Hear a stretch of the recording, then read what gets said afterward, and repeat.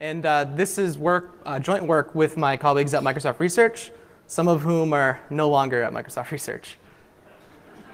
So this talk is about SurroundWeb, a 3D web browser that brings immersive experiences to the web. We've designed SurroundWeb explicitly to make these experiences possible while mitigating important privacy concerns inherent to these experiences.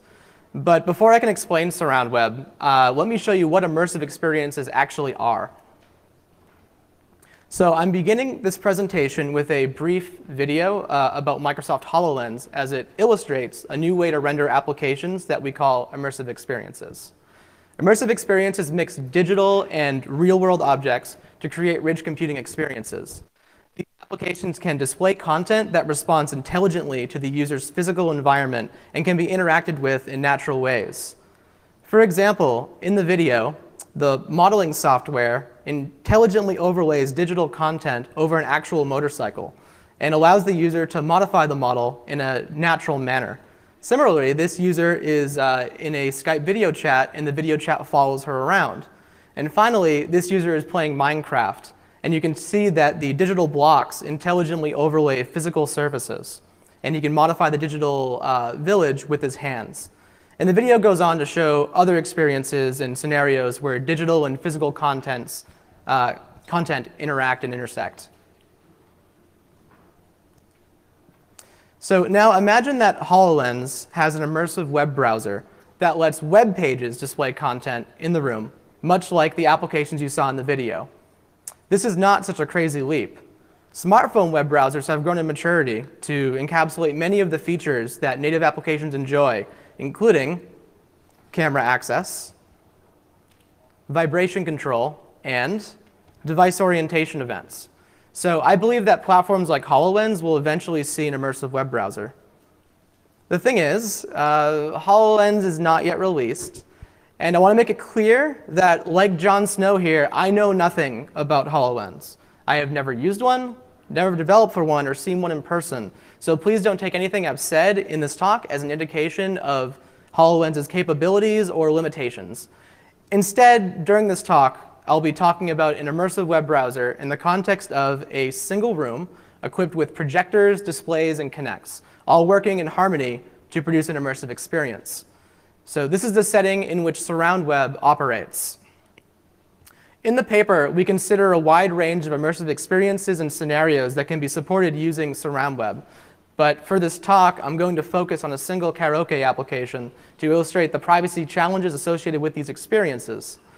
So immersive karaoke on the web might sound a bit far-fetched at first, but so does real-time video chat that uses facial recognition to intelligently superimpose mustaches and birthday hats on people. And that already exists in Google Hangouts which by the way, I want to mention, now works without any plugins whatsoever.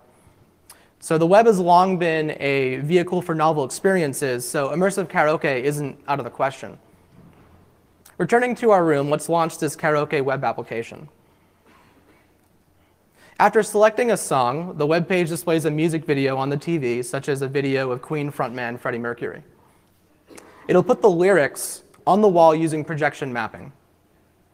And then using a ceiling-mounted projector, the web page will display a playlist on the table that supports interactions via Kinect gestures. And then maybe it'll project some crowd shots on the wall to cheer you on. And maybe if you had some snacks in the room, it can supply you with nutrition information so you can make informative karaoke time snack choices. And all of this sounds pretty cool, but to make all of this work, this immersive karaoke web page running in this new web browser needs to somehow orchestrate multiple display devices and sensors together in concert. How can we do this while maintaining some level of user privacy?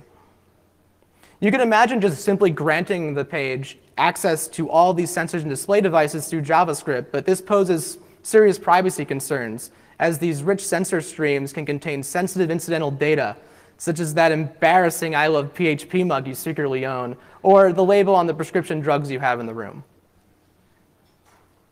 As a next step, you could imagine filtering the sensor stream to remove sensitive incidental data, but there are issues here as well. First, the karaoke page must construct its own rendering support atop this data, preventing interoperability with existing GUI and DOM APIs. And second, if a web application wants to support natural user interactions like the playlist that we showed, it will need to track the user's movements from the sensor stream to detect those gestures, which would reveal other information like the user's height, the location, maybe the user's weight in the room. And so there's a clear tension here between functionality and privacy. So how can we give immersive web pages the ability to detect gestures and render content intelligently while maintaining some notion of user privacy?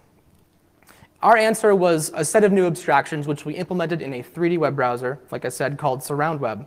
And these abstractions are a core contribution of this work. But before we designed those, we had to answer a related question. What are users' privacy attitudes anyway in this type of environment? And going into this work, we didn't know, so we turned to user surveys. We deployed an online survey using the Instantly service to 50 people. And we wanted to understand their privacy attitudes in a variety of scenarios. So we presented them with three wildly different applications. So a dance game, a 911 assist game, and a media player application.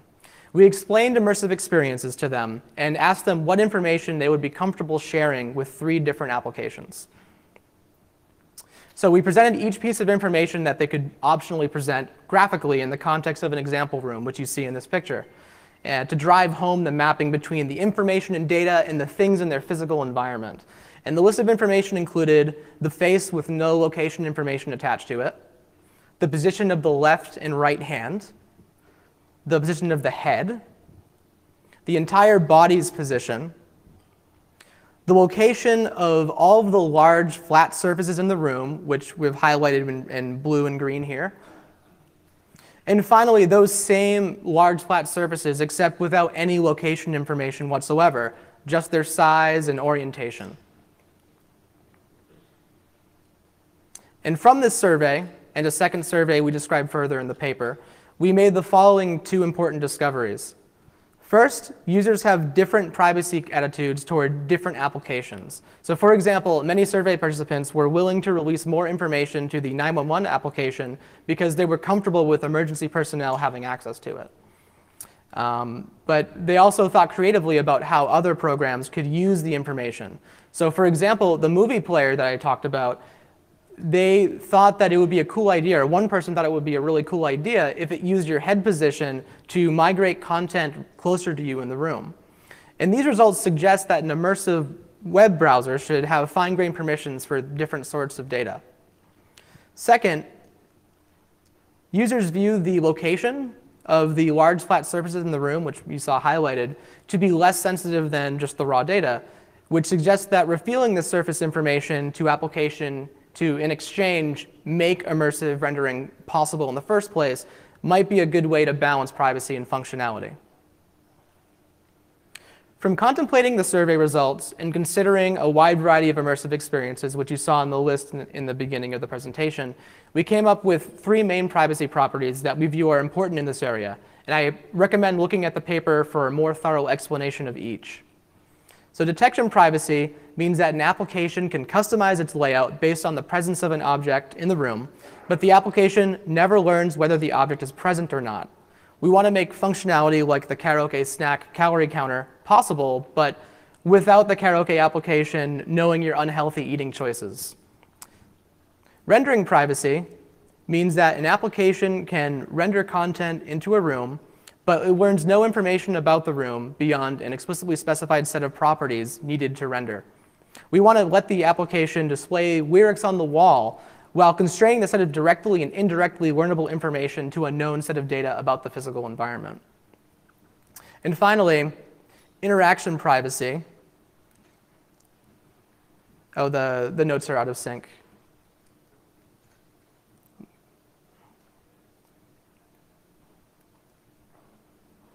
One second. There. OK, and finally, interaction privacy lets the karaoke application display an interactive playlist without, for example, tracking you around the room as you interact with it.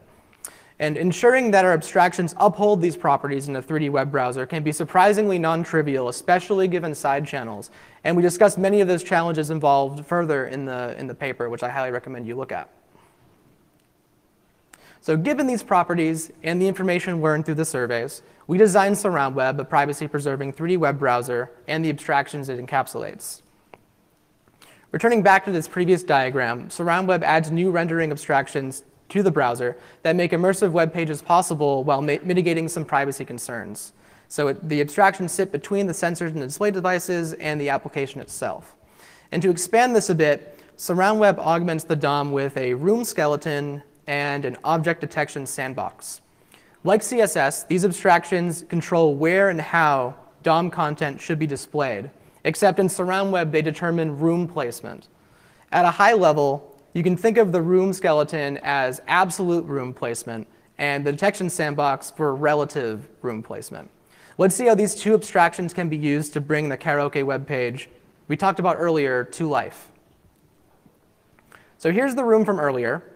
Uh, SurroundWeb will use Kinects in concert with display devices to scan the room and determine renderable surfaces. The end result is the following information, which is incorporated into the room skeleton. Each of these colored boxes we call a screen. Each screen has four pieces of information associated with it. Its location in the room, its physical size, its resolution, and a list of standard DOM events that it supports. To be explicit, the karaoke web page does not see the room at all. It only has access to the screen information. This is the room skeleton. Now, if you, call, if you recall, the web page wanted to display a music video on a TV. Using the room skeleton, it can check the resolution of all of the horizontal surfaces in the room, because naturally a TV is going to be standing up. And it will place it on the one with the highest resolution, which is that 1080p display. The lyrics should go on some horizontal screen above the high resolution display. And so the karaoke application can simply use the screen's location information in the room to determine an appropriate location. So it'll put it on this orange one above the TV. The interactive playlist should go on some surface that supports input events. The karaoke web page can query the room skeleton and see which screen supports input events.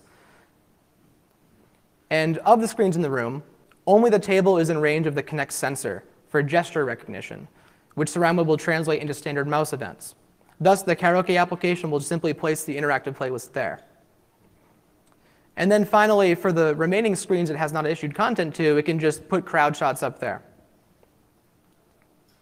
So since the room skeleton is high level and integrates with the DOM, the amount of code needed to display everything described so far is pretty minimal and fits on this slide. And also, this is what it actually looks like running in the prototype. But we are forgetting about one thing.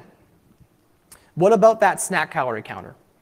The web page needs to know when recognized snacks are in the room without knowing if the snacks are there at all. That's where the detection sandbox comes in. The detection sandbox lets applications place content relative to physical objects in the room without revealing the object's presence or location. As a corollary to this, content in the sandbox is non-interactive. The web page uses CSS to specify constraints that reference objects by name. Shouldn't an object detector within SurroundWeb detect the specified object in the room, SurroundWeb will asynchronously solve the constraints for a rendering location. The end result in this example which you can see the code for. Uh, when a Coke can is placed onto the table, its calorie information appears below it. The web page receives no callback when content in the detection sandbox appears in the room. And also, to prevent side channels in the server, SurroundWeb will eagerly, eagerly render every content in the sandbox to prevent the server from detecting an object by, say, an image get request or something like that. And I, I do recommend that you take a look at the paper for further details on side channel mitigation and other things that we considered. So with that piece in place, the calorie information will appropriately appear below the Coke can in the room. And then in the prototype, this is what it looks like. So to briefly recap all of that, I presented SurroundWeb, a 3D web browser that enables immersive experiences while mitigating important privacy concerns. SurroundWeb augments the web platform with two new rendering abstractions that integrate into HTML and CSS and I highly recommend that you read the paper, just as it contains many more details that I did not have time to mention today, such as satellite screens and further information on the privacy properties. And while we get to questions, I want to start a silent video that shows off the prototype in action, displaying many of the applications that we consider in the paper. Thank you all for your attention.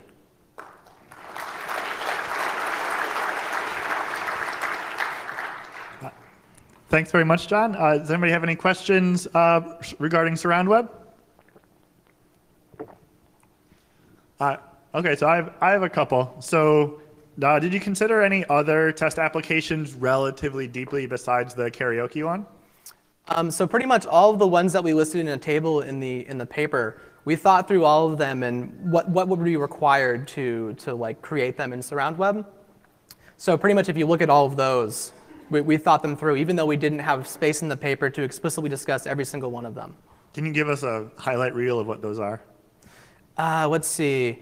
There was one, I, I, forget if it made it to the paper, there's one uh, that's mentioned in this video that in a kitchen would display recipe information on like a, a, a by a stove and would warn you if burners were hot or stuff like that using the detection sandbox by detecting that information.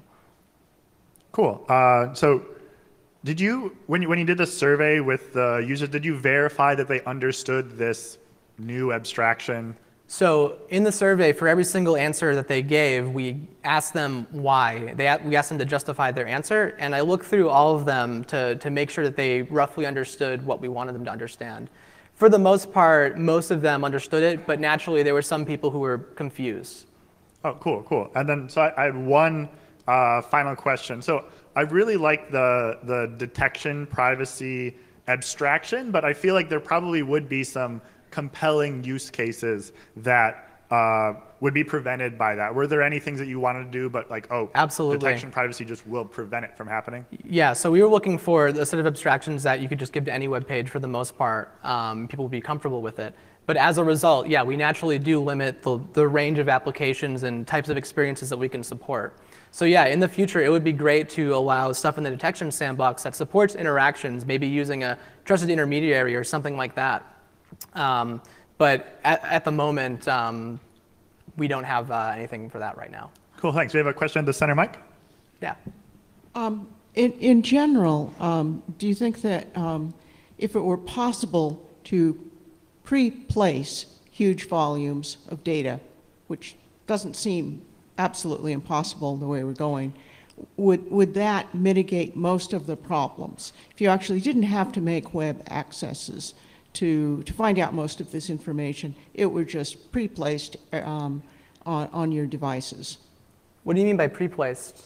Well, um, just imagine as a Gedanken experiment uh, that the uh, web archive were, were just distributed through some sort of tree all the time so that, that people already had all product information um, on their, uh, in their home or on their personal device. Okay. So you're saying that if, if the person already, I, am a little confused. So the, the issue that we're dealing with is that there's data about your environment that you don't want the, the web page or the server knowing.